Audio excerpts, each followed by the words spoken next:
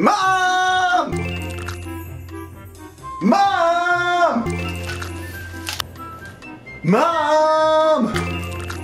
Hello, my people. My name is Meacham, and my mom no longer does everything for me. Your mom still probably takes care of a bunch of things that you're going to have to take care of when you go to college. Now, maybe you're fancy and you have a housekeeper. Look at you! Well, you won't when you go abroad to study. There are a ton of essential skills that you need in order to be ready to live independently. If you're not ready to live independently, you're not ready for university. But I'm gonna fix that. Being successful in university is about more than just getting good grades and studying so that you can pass exams. Even if you are an amazing academic student, in order to learn, you need to be at your best. If you're worrying about things like paying for food or you didn't take a shit this morning because your toilet was clogged, you're not going to have a good academic day. Academic performance is totally dependent on the rest of your condition. Having a good set of life skills means you'll create good conditions for yourself so that you can get the most out of your university education. Do you know how to budget your money? Can you fix things in your house? Are you able to prevent disasters or will you be the cause of them? Your whole life has been focused on math skills and language skills and a bunch of knowledge that you honestly could have just Googled, but you had to listen to a teacher for an hour to get, and none of that has really prepared you for life. That's because schools don't really care about preparing you for life. Unfortunately, schools are measured by how many students they send to university, so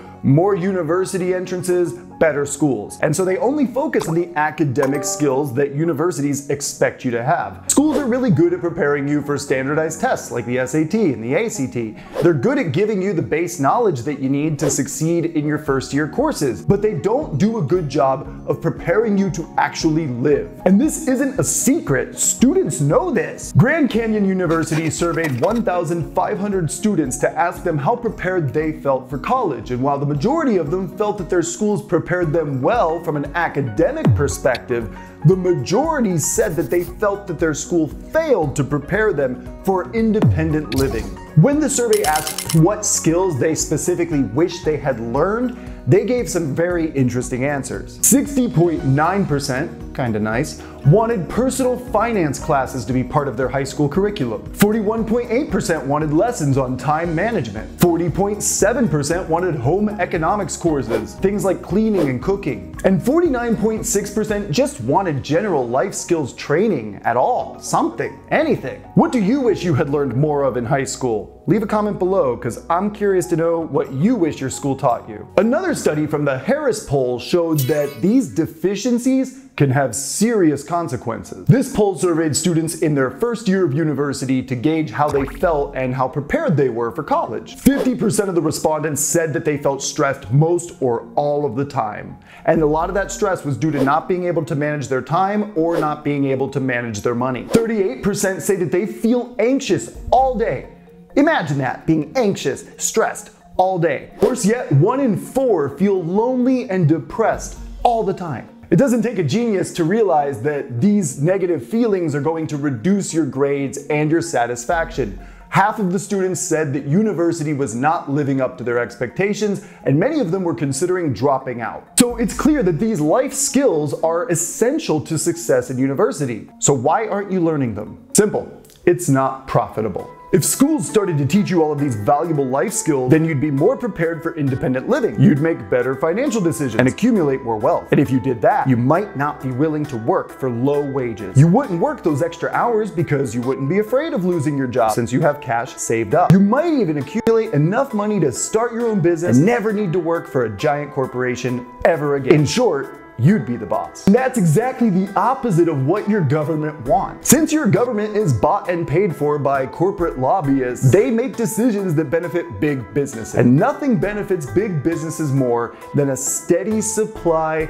of mindless workers who are willing to work for a low salary just to get by. Go to work, make the corporation money, get a paycheck that barely covers their expenses, spend it all, and repeat the cycle. That's how our modern system works. The idea is to keep employees loyal and stable by making it so that if they walk away from this job, they are destitute. If we started teaching people financial literacy and time management and other ways that they could improve themselves, what would happen? Giving those employees a bunch of useful education ruins the whole plan. Now they can make better decisions. They might be able to walk away from this job, or worse yet, start their own company and become the competition. Education was never meant to empower people from a state level. It's always been about making sure you become a profitable resource for the state. There's a reason they don't teach you these essential skills. Now, I personally find this disgusting and I think it's really bad for society, and that's one of the reasons why I have designed a course to help fill in the gaps from high school. It used to drive me insane when I was in school that I was learning what I considered a lot of useless information instead of things that would actually benefit me. Now, my school had a lot of electives. I opted for things like personal finance and business economics and my typing course that made it a lot easier for me to get work done. Those skills have been far more beneficial than the history classes or the science classes that I took. But even those skills were not enough to prepare me for life. I mean, I had to learn a lot of things just by living and a lot of trial and error, mostly error. And I don't want you to make the same mistakes I did. I've put together a life skills course and I'm gonna teach it here at SCORE. We're gonna cover things like how to manage your expenses and budget your money, things to help you manage your time better so that you can be more prepared for university, other skills around the house so that if something breaks, you might be able to fix it, or at the very least, so that you don't break things in the first place. I also want to teach you about living as an international student because as a foreigner, I know what you got to watch out for. If you want to sign up, you can go to prepwithscore.com, send us a message on WhatsApp, or just send us an email on the form there. Let us know you're interested in the life skills course, and we'll get you set up. I want to start teaching this course in February, and my plan is to do it every couple of months whenever we have a few people interested. Planning on doing very personalized classes. We're going to have homework in a Google Classroom and stuff. Like I want to give you real tools that you can use for the future. I hope that like the things that you pick up in this class will serve you for the rest of your life. If you want to learn how to dress for another climate, how to make some healthy meals while you're in your dorm, or you don't know how to do your laundry, then go to prepwithscore.com. Next week, you're going to see another video from the Chicago University Tour, Elmhurst University. If you want to check that out, subscribe to the channel, and I will see you next week.